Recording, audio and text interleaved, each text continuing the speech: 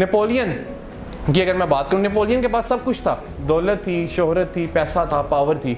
मगर उन्होंने अपनी ज़िंदगी के आखिरी दिनों में एडमिट कर लिया। उन्होंने कहा कि मैंने अपनी ज़िंदगी के कोई छः दिन भी खुश रहकर नहीं गुजारे। जबकि दूसरी तरफ़ हेलन कैलर थी और हेलन कैलर जो कि डम थी जो कि डेफ थी, जो कि ब्लाइंड थी, उन्होंने क्या खूबसूरत जुमला बोला। उन्होंने कहा कि ज़िंदगी बहुत खूबसूरत है। दरअसल अल्लाह ताला ने हमसे ज़िंदगी के आसान होने का वादा नहीं किया। अल्लाह ताला ने हमसे ज़िंदगी के आसान होने का वादा नहीं किया।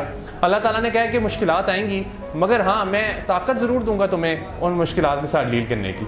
जो सबसे बड़ी गलती होती है, वो सबसे बड़ी गलती हम ये करते हैं कि हम शायद ये समझ लेते हैं कि life is fair life fair है। हमारे साथ जो भी होगा, वो अच्छा होगा और अच्छा होना चाहिए और इसी वजह से हम फिर डिप्रेशन का शिकार हो जाते हैं। मेरा दोस्त चला गया जॉब का इंटरव्यू देने। अब जब वो जॉब का इंटरव्यू देने गया तो पूरी रात वो तैयारी कर रहा था जॉब के इंटरव्यू की। मैंने उसे कॉल भी की, मैंने कहा, क्या कर रहे हो? कहता, मैं जॉब का इंटरव्यू करूँ और ऐसा ज़बरदस्त इंटरव्यू दे के आऊँगा कि आपके भाई को कल ही जॉब मिल जाएगी. इंटरव्यूअर ने उससे क्वेश्चन किया और वो जो अक्सर क्वेश्चन करते हैं इंटरव्यूअर्स उसने क्वेश्चन ये किया कि वट इज़ योर क्वालिटी आपकी क्वालिटी क्या है? तो उन्होंने कहा, मेरी क्वालिटी मेरी क्वालिटी ये है कि मैं परफेक्शनिस्ट हूँ। मैं हर काम को परफेक्ट करता हूँ।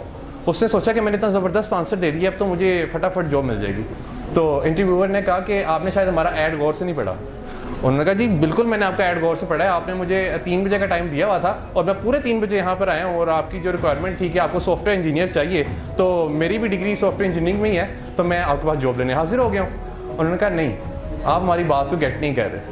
दरअसल हमने किसी मशीन को यहाँ पे इनवाइट नहीं किया। हमने एक इंसान का इंटरव्यू करना चाहा है और हमने जॉब भी किसी इंसान को ही देनी है।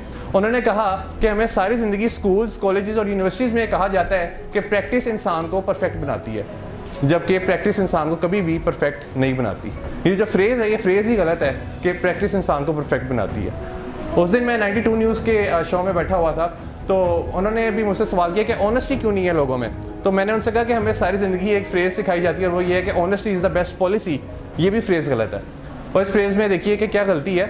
इसमें थर्ड डिग्री यूज़ की गई और जो हायर डिग्री यूज़ की गई, वो ये है कि बेस्ट पॉलिसी यानी there is a better policy as well कोई ना कोई बेटर पॉलिसी भी है और वो बेटर पॉलिसी क्या हो सकती है? डिसऑनेस्टी हो सकती है।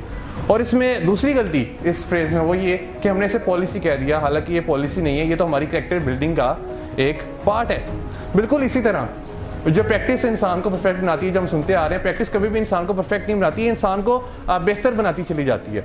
जब भी आप गुड से ग्रेड का सफ़र करते हैं तो जब आप ग्रेड पे पहुँचते हैं तो फिर आप एक अगला ग्रेड सेट कर लेते हैं अपने माइंड में कि आपका अगला गोल होता है और उसे फिर आपने अचीव करना होता है। कोई भी इंसान इस दुनिया में परफेक्ट नहीं होता। तो वो उस इंटरव्यूअर ने आ, उसे ये कहकर रिजेक्ट कर दिया कि हमें किसी मशीन को नहीं रखना हमें इंसानों को रखना है। और हाँ अगर हम तुम्हें रख लेते तो तुम शायद हमारी कंपनी का इन्वायरमेंट ही ख़राब करते।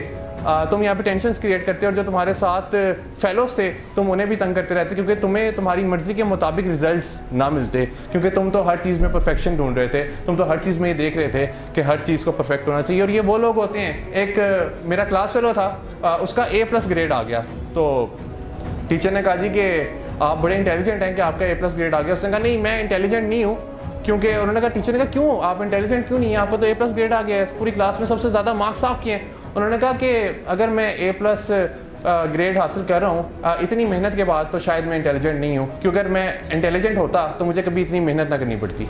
यानी वो लोग होते हैं जो कि हर चीज़ में परफेक्शनिज्म ढूंढ रहे होते हैं।